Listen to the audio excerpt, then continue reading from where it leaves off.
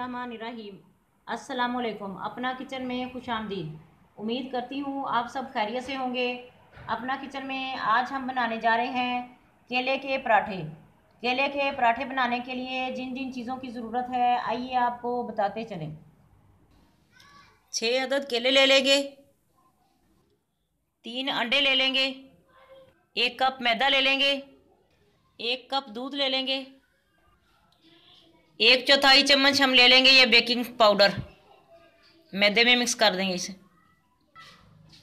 Vanilla essence ले लेंगे। चार चम्मच आइसिंग शुगर ले लेंगे। एक जग ले लेंगे और उसमें दूध डालेंगे। एक कप दूध इसमें जाएगा। वनीला एसेंस डालेंगे। चीनी डाल देंगे।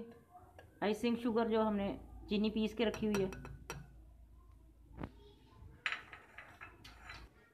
केले हम ले लेंगे छः अदद और डायरेक्ट इसी में छील के काट देंगे।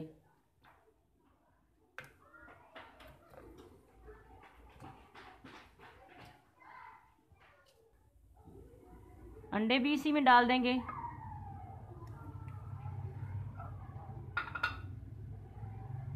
तीन अंडे लिए हैं, कोई पता नहीं होता, कोई ख़राब हो अलग अलग से इसको निकालना चाहिए, अलग कटोरी में। अब इन्हें ग्राइंड कर लेंगे अच्छी तरह से।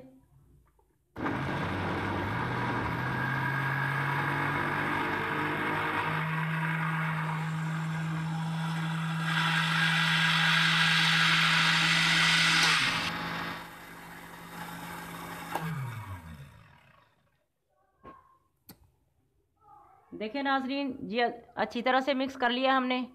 अब एक बाउल ले लेंगे, उसमें निकालेंगे इसको। बिस्मिल्लाहिर्रहमानिर्रहीम। ये बहुत मज़ेदार और यमी सा नाश्ता आज हम बना रहे हैं।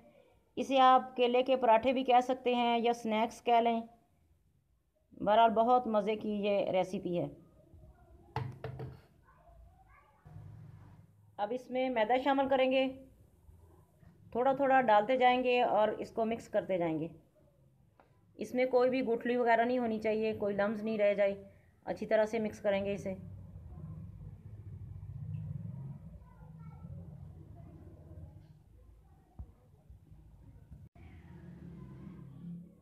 देखें नाजरीन, मैदा भी अच्छे से मिक्स हो चुका है, कोई गुठली, कोई लम्स इसमें नहीं है, देखें।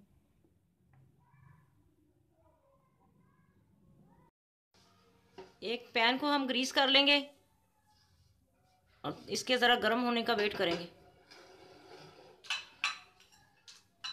पैन हमारा गर्म हो चुका है, अब इसमें हम ये बैटर डालेंगे।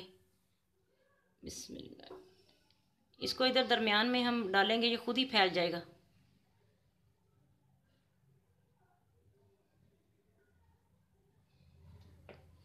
तकरीबन इसे हम एक से दो मिनट तक एक तरफ़ से पकाएँगे और फिर दूसरी तरफ़ से भी इसी तरह हल्की आँच पे पकाएँगे इसको।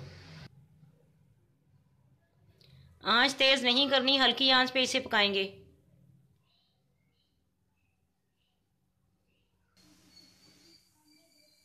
देखें नाजरीन, हमने इसे पलट दिया है। ये देखें कितना प्यारा कलर इसका आया है और ये बहुत मज़े की ये फूल गई है। ये बेकिंग पाउडर की वजह से ये फ्लफ़ी सी हो गई है।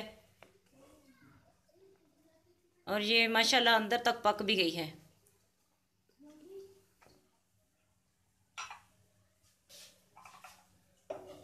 इसे अब किसी प्लेट में या डिश में निकाल लेंगे।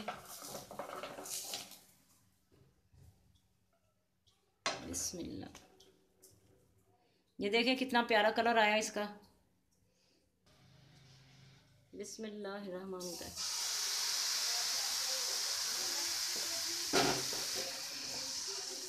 इसको सही तरह से फैला लेंगे।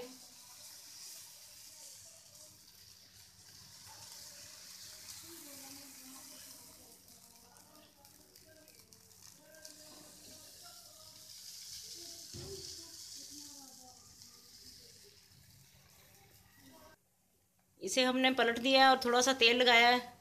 कि दूसरी तरफ़ भी थोड़ा तेल लग जाए, खुशक ना रह जाए।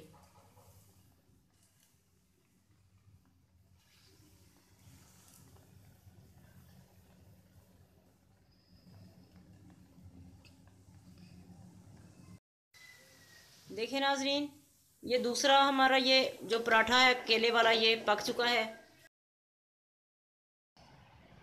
नाजरीन, आप इसके ऊपर शहद डाल के खाएँ। बेशक ये चाय के साथ खाएँ नाश्ते में। बहुत ज़बरदस्त हैं ये बने और बहुत मज़े के हैं। अपने बच्चों को बेशक ये लंच बॉक्स के लिए बना के दें। बच्चे भी बहुत पसंद करेंगे इसे।